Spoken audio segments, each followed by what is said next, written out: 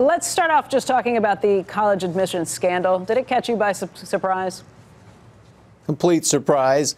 We're all familiar with uh, some schools ad admitting uh, uh, athletes who are phony students, but we haven't seen uh, phony athletes admitted uh, trying to become students before. Yes, it was uh, something I certainly didn't see coming. You know, there, um, this is something that has really uh, touched a nerve with parents around the country. I hear it uh, talked about just about everywhere. And there's a new poll from USA Today out um, that is saying that by more than three to one, the people that they have surveyed are against not only this extreme sort of cheating that we've heard about in this scandal, but just about ways that they think that uh, the wealthy and the, the well connected have advantages when it comes to college admissions. What, what do you think about that? I think it's justified. Of course, there are all kinds of preferences going on in college admissions. Uh, we, it's pretty obvious that Asian students have been excluded at some schools uh, uh, by uh, some sort of covert uh, quota arrangements. So, um, uh, I, but I do think in this case that the reaction is warranted. I think a lot of us share it. You know, there, there have been questions that have been raised about legacies, about uh, people whose parents are able to donate money. Uh, where, do, where do you come down on any of that? Because uh, a lot of these are things that a lot of us knew were probably happening for a long time, but um, it's a pretty opaque process, and it, it's hard for people on the outside to really understand what's happening. How big of a problem do you think it is? Oh, it, it depends on the on the case. I think what's maybe being missed here is that uh, this particular incident, which is very juicy with celebrities and so forth involved, um, is really more about the parents than the students. Mm. And the irony is, if these parents, uh, I think they're, they're um, whether they recognize it or not, they're seeking status for themselves more than success for their children. We did some uh, research uh, with the Gallup organization uh, here at Purdue a few years ago, showed pretty conclusively that, uh, as one author put it, where you go is not who you'll be. It's much more about what, whether a student applies herself or himself at school, how rigorous that school is, which is something we really aspire to at Purdue.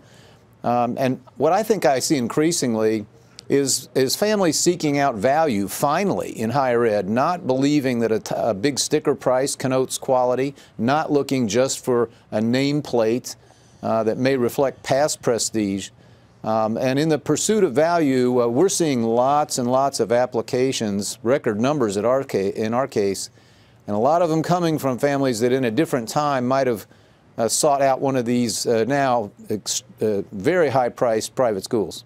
Um, I, I, know this is something that you've written about yourself in your annual letters, um, just the idea that state schools in the last decade or so have taken on a lot more students internationally, a lot more out-of-state students. And I think that's been something many schools were kind of hoping to do as a way to uh, offset the budget pinch they were getting from state budgets that were shut down during the Great Recession. Um, how, how big of an issue is that? What do you do with it? And is it okay if a state school has 25% of their students coming in from either out of state or internationally when they're getting funds from the state?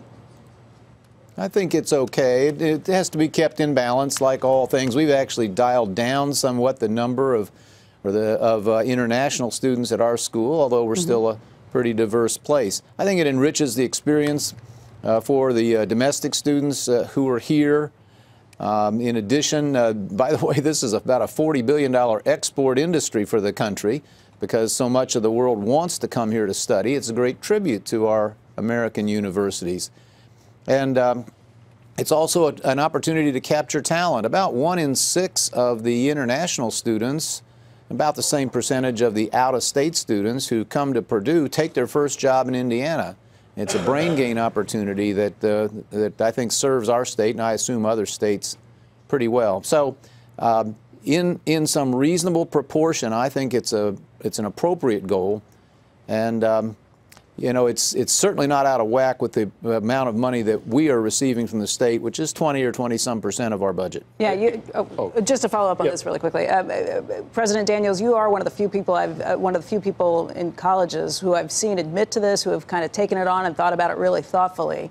Um, so I, I, guess I wonder what is the right proportion, because there are schools that have a lot higher numbers of, of international students that are coming in uh, than Purdue does. And it's not to sound protectionist or to sound like we don't want people coming in, but when I look at state schools versus when I was trying to get into them, how much harder it is today, I think that does raise questions about people who thought, okay, our kids, my kids are going to be able to go to the same school I did, my same state school, but it's a lot tougher today than it used to be.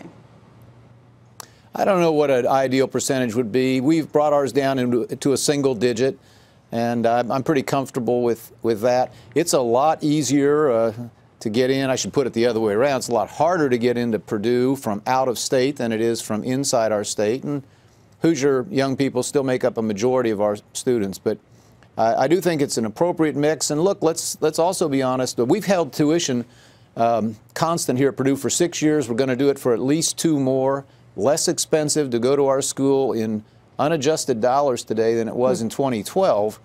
And uh, the fact that we do have a healthy percentage of out of state students who pay much more uh, here helps us keep uh, those uh, tuitions down. So, uh, Governor, it's that time, uh, and it, it, we could meet really early. Uh, we could meet really early here, Cincinnati and. and Is this another Cincinnati thing? Uh, yeah. We could meet. Uh, the only thing is, you're a number three seed, and Cincy's is a number seven. So I need some. I need like twice as much uh, of a payoff. Now, did- last time did you? you we, it was Montgomery Inn ribs, or was it Skyline Chili that I was gonna? Do you have anything worth sending me from from where you are? If if I win, Oh yeah.